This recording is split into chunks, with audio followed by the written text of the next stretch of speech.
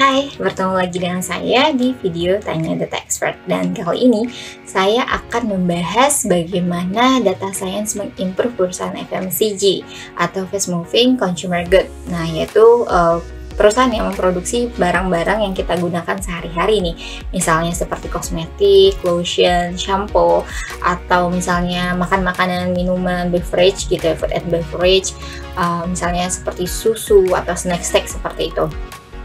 Nah, uh, ada banyak banget ya use case yang bisa kita temukan di FMCG. Mulai dari uh, use case yang biasa nih, uh, yang cukup umum kita temukan yaitu forecasting atau prediction, entah itu sales forecasting atau juga uh, prediction harga ya untuk barang-barang untuk bahan-bahan mentah ya misalnya gitu uh, untuk bahan baku dari produknya Nah, itu yang pertama. Kemudian yang kedua, produk bundling. Nah, kalau teman-teman ke minimarket mungkin sering menemukan ada produk-produk yang dibundle atau dikumpulkan jadi satu. Nah, seberapa besar kemungkinan seorang customer akan prefer membeli barang yang di bundle ketimbang dengan barang yang dijual satuan. Nah, itu.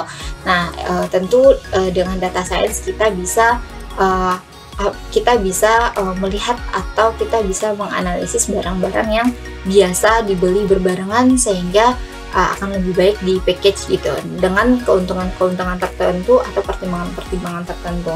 Misalnya kalau saya uh, saya sebagai customer saya akan mempertimbangkan untuk membeli um, produk yang dibandel karena saya tahu saya selalu butuh produk itu dan secara harga uh, lebih murah ternyata kalau dibandel. Nah, kemudian uh, use case yang ketiga yang uh, cukup apa ya uh, cukup jarang kita temukan yaitu skin imaging.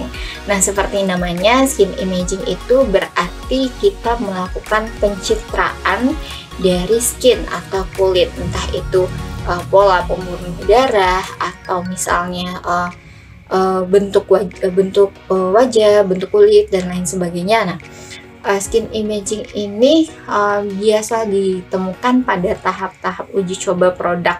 Misalnya ada perusahaan yang ingin merilis satu varian produk baru uh, memanfaatkan skin imaging untuk uji coba. Jadi misalnya uji coba dilakukan secara bertahap dan setiap orang yang ada di dalam eksperimen grup atau orang-orang yang diuji cobakan akan melakukan uh, apa ya memfoto misalnya kalau produknya berupa shampoo memfoto kulit kepala kemudian uh, foto dari kulit kepala itu akan diproses dengan mesin learning sehingga hasilnya bisa dikuantifikasi.